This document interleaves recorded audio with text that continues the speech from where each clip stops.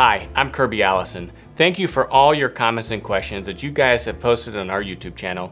After reading them all and answering as many as possible, I've selected five that we're gonna feature in today's Q&A video. Each of these individuals I have selected will receive a complimentary pair of our Sovereign Grade shoelaces as a token of our appreciation for their participation in our channel. In today's Q&A video, we're gonna be covering questions about garment care. Remember, if you have any questions or comments while you're watching one of our videos, please ask them in the comments section below each video. I try to get back to as many of these questions as possible. Before we get started, I'd like to announce the exciting new launch of a product within our garment care portfolio. Here at the Hanger Project, we are committed to helping the well-dressed take the best care possible of their clothes, and that now extends to producing one of the finest pressing cloths. So a pressing cloth is a piece of cloth that is used when ironing your garments in order to prevent any type of sheen from developing on your suiting fabric. It is critical never to touch an iron directly to any type of wool or cashmere fibers because the iron can produce a sheen on the fabric itself that can never be removed. For that reason, it is critical if you're pressing a garment to always use a pressing cloth, which is a cotton piece of cloth that you put in between the fabric and your iron to press. Now this is a staple that everyone should have that does any type of home pressing, and it's something that I actually keep in my luggage um, for whenever I travel so that I can do quick touch-ups uh, to press a nice sharp crease into my trousers. We developed our new pressing cloths in collaboration with a bespoke tailor based in New York, and I can say this is one of the finest pressing cloths that I've seen. It's available now on the Hanger Project for $20. You can find a link in the description of this video. Our first question today is from Michael, and it reads, Does the garment brush remove lint from t-shirts? I tend to wear black t-shirts more frequently than dress shirts.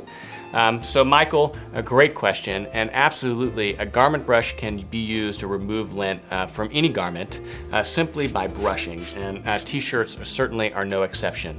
Now we, at the Hanger Project, recommend using a natural bristled garment brush for any garment as opposed to one of those uh, double stick tape uh, lint rollers. What I find with the lint rollers is that they can actually leave an adhesive residue behind on the garment itself, which actually does more to attract lint and make it more difficult to remove uh, than if you're using a garment brush. But that said, laundering your garments properly can really go a long way towards reducing or eliminating lint. And I have two suggestions. First, any type of dark garments, especially like a black t-shirt, should be washed inside out. And the reason is that it helps prevent the buildup or collection of lint uh, on the outside of the garment. By washing it inside out, it reduces that uh, outside fabric coming into contact and potentially accumulating any type of lint. So if the garment is going to pick up any type of lint, it's gonna be on the inside of the garment so that whenever you pull it out of the laundry and turn it right side out, uh, you don't have as much lint on the outside of the garment. But additionally, you should always wash garments with light garments. So for instance, if you're doing a load of t-shirts, you should only wash your dark t-shirts with dark t-shirts and never with say a bath towel because those other items are prone to linting and a, a white bath towel is gonna lint and get all over your black t-shirt.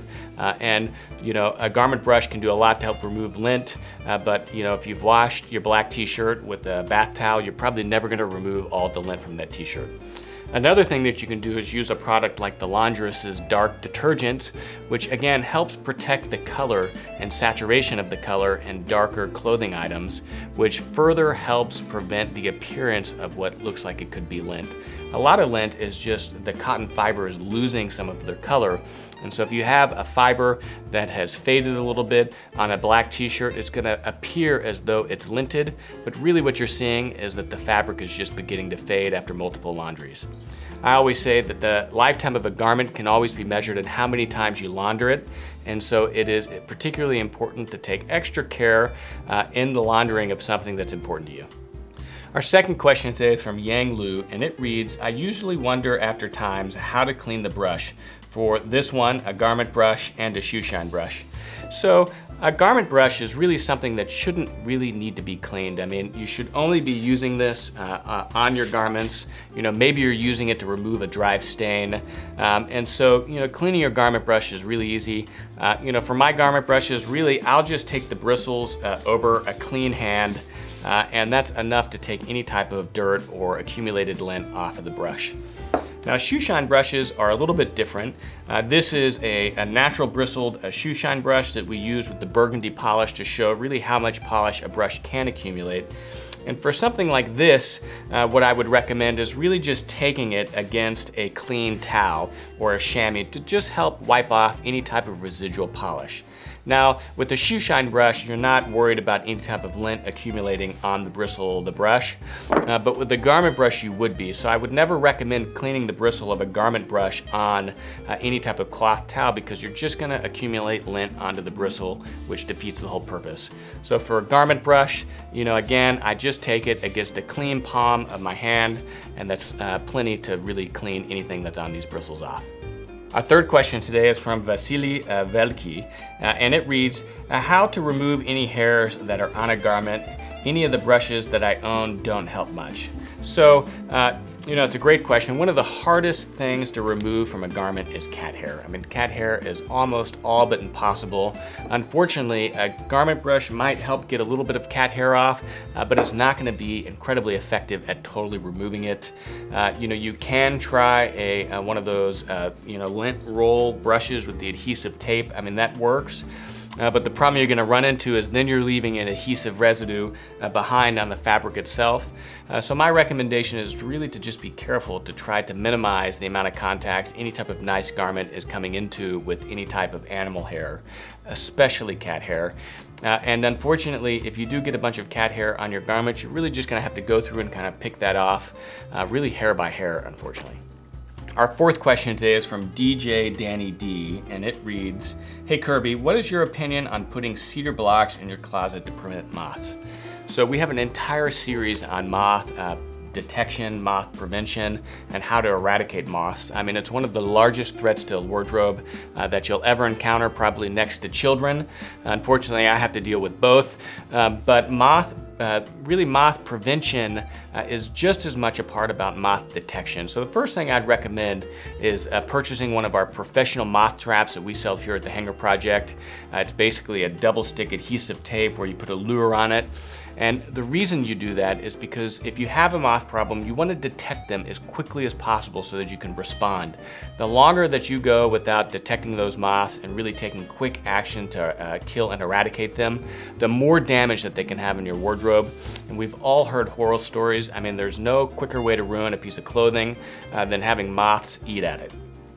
Now that said, there are things that you can use to help to deter moths and uh, cedar is certainly one of those. So uh, if you have some space in your closet for cedar blocks, uh, absolutely.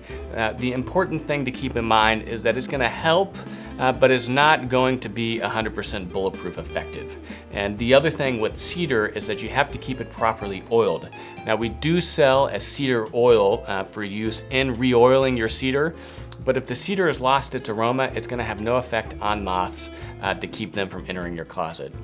Now that said, there are some other best practices that we outline in our videos on moth protection. First, if it's an out of season garment, uh, that's always gonna be what moths go for. And so unequivocally, we recommend storing out of season garments in one of our garment bags or one of our garment storage boxes. The reason is, is that a physical barrier is gonna do the best job protecting your garments and there's nothing more bulletproof than our luxury garment bag that we sell here at the Hanger Project. It's also important to always keep your closet door shut and the lights off because moths have to travel into your closet in order to do any damage. So the more you can do to seal off your closet and prevent moths from getting into your closet, the more protected your garments are gonna be.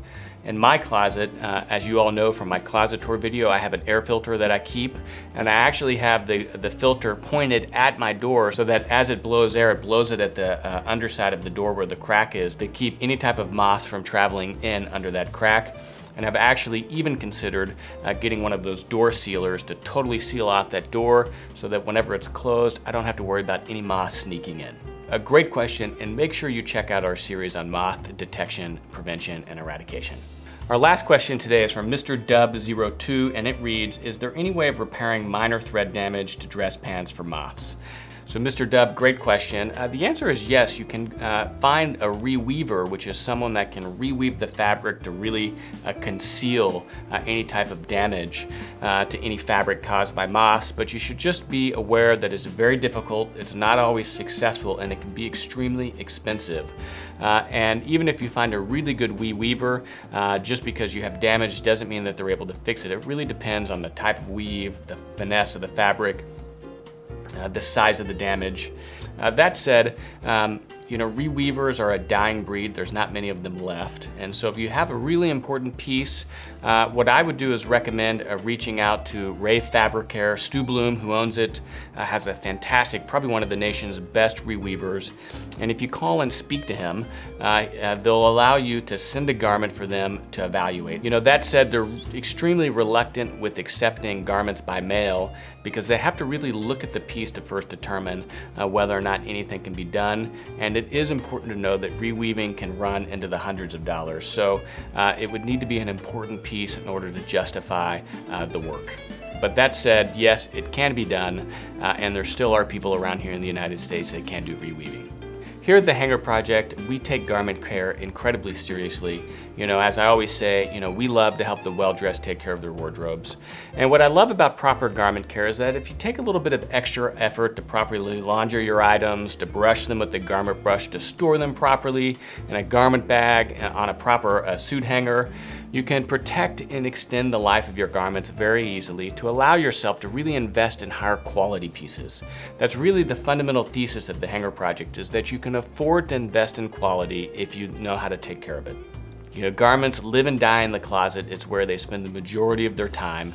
And the lifetime of a garment can easily be measured in how many times you launder it or send it to the dry cleaners. So if it's an important piece, it's absolutely worth taking a little bit of extra effort, educating yourself, and properly caring for your garments. As always, if you have any questions about garment care, we're here to help. Either ask them in the comments section below, or if you need more personalized or a faster service, call customer service. We're always happy to answer your questions. Once again, I'd like to take a moment to thank everyone for their comments and questions. It's your engagement on our YouTube channel that make these Q&A videos possible. Not only do these Q&As give me an opportunity to answer in greater depth a lot of the questions that I'm already answering, but they allow me to take a moment to acknowledge my appreciation for everyone's involvement in this channel. I absolutely enjoy this platform and how it's allowed me to connect more directly with all of you, and I really have fun interacting with you and answering your questions. Remember, if you haven't taken an opportunity to ask a question or make a comment, I invite you to do so. Even if you don't have any questions to ask, just sharing your opinion or your thoughts about our content makes this more fun for everyone. I read all those questions and comments and personally do really try to get back to as many of them as possible. In today's video, I'm wearing my bespoke Chris Despos, a gray herringbone suit. Uh, this is the first suit that I had him made, my second garment for him uh, right after my wedding tuxedo. Uh, as I've said in many of these videos, this without question is the most versatile suit that I own. The nice fine gray herringbone pattern gives this gray suit some nice subtle visual texture and it's just incredibly easy to wear. You can wear it during the day, you can wear it at night, you can wear it to a wedding, you can wear it to a funeral. The suit was cut uh, as a uh, notch lapel with a single button, uh, making it uh, quite traditional and formal. Uh, it has besom pockets, but today you can see I have the flaps tucked in, again just elevating the formality of this ensemble. I'm wearing it with my trademark white dress shirt. Uh, my shirt today is from Hemrajani Brothers or mytailor.com, uh, my first shirt maker and one of my favorite shirt makers out there. Um, and it's made with the very special white fabric from David John Anderson. It's a DJA 330 by 3, which is the finest white cotton shirting available anywhere in the world. It's certainly a novelty item. The 330 staple length is the longest staple length that you can find for cotton shirting, and it's so fine it has to be a three ply yarn in order uh, for the yarn to withstand uh, the weaving process. A beautiful shirt, uh, fun to wear, and incredibly soft. Of course, in this shirt, I have a pair of our horn collar stays, and because of the finesse of this fabric, it's incredibly important to have a soft-edged collar stay. Uh, like all the collar stays we here at the Hanger Project, our horn collar stays have a finely sanded and rounded edge that you don't have to worry about tearing or ripping through the end of your collar stay sleeves. I'm wearing this suit with a beautiful uh, white uh, Simonnot Godard pocket square and one of our burgundy uh, Kirby Allison Sovereign Grade ties. The pants have a single reverse pleat, tab trousers, and no cuff. I'm wearing a pair of my favorite dress socks. These are a gray small dot melange dress sock that we carry here at the Hanger Project. And my first pair of bespoke shoes from George Cleverley. This is a whole cut burgundy shoe with broguing on the toe. My watch today is a Rolex Datejust, which was a gift from my grandfather. The glasses I'm wearing today are from Francois Pinton in Paris, uh, and they're just a nice, simple acetate frame.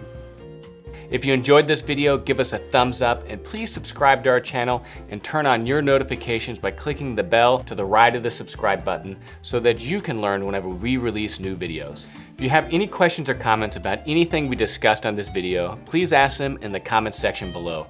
And of course, please visit hangerproject.com where we have the largest, most comprehensive collection of luxury garment care and shoe care accessories in the world, as well as many other incredible products for the well-dressed.